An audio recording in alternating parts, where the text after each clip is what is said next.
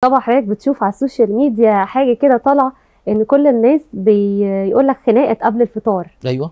لازم الخناقة لازم البيت كله يقوم فيه مشكلة آه، عشان مجرد إن إحنا صايمين مع إن أنا بعتقد إن الصيام ده ربنا سبحانه وتعالى حطه أصلا يعني من أسبابه إن إحنا نتخلق بخلق الحلم بالظبط. والصبر. والأمور بسيطة. بالظبط. طيب كنت عايزة أعرف من حضرتك إيه جزاء الحلم والصبر؟ لما أصبر على اللي قدامي حتى لو اللي قدامي مستفز جدا عمل حاجات. ضايقتني جدا. إيه يعني آه، إزاي أصبر عليه؟ بصي. وإيه الجزاء؟ في كثير من العبادات جزاءها معلوم. يعني صلاة الجماعة صلاة الجماعة في أن يصلي الإنسان في جماعة أكثر من صلاة الفرض في بيته ب 27 درجة. أما الإنسان الحليم الصابر قال تعالى إنما يوفى الصابرون أجرهم بغير حساب. الله عز وجل هو الذي يعطيك بغير حساب. فالصبر مور كاسمه لكن مذاقه أحلى من العسل.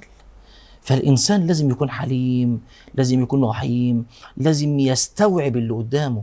يعني مثلا لازم تكون مثلا حليم مع زوجتك هي متعصبة والولاد والطبيخ و و و مش بقولك إن أنت تبقى ضعيف قدامها لا ان تشملها بحلمك. تكون حليم على أبنائك وأنت بتوجهه مش لازم ابدا وأنت بتوجه الولد إن أنت تكسره. لا انت وظيفتك ان انت تبنيه مش تكسره. طبعا. وانت بتبنيه خليك حليم عليه.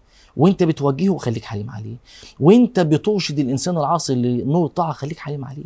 وانت بترشد زوجتك و... و... و... و... وأصفى اللحظات مع زوجتك خليك حليم عليه. أو بالذات موضوع زوجتك ده. مال. لأن في بعض بعض الرجالة قبل الفطار مثلا لو الفطار اتأخر خمس دقايق ولا حاجة آه يعملوا بقى مشكلة إزاي هو يعني ال- الإنسان يقول له ما له وما عليه. في بعض الرجاله فعلا عصبيين وما بيستنوش للأسف بعض مع انها يعني آه، مضغوطة جدا. وفي واحدة تلاقيها آه، عفوا تلاقيها تقيلة كده فتعصب.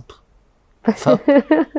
لا يا شيخ الستات كان الله في عونهم بيصوموا وبيطبخوا وبيربوا الأطفال. ربنا يتقبل. يعني ما ينفعش نقول كده. ربنا يتقبل. طيب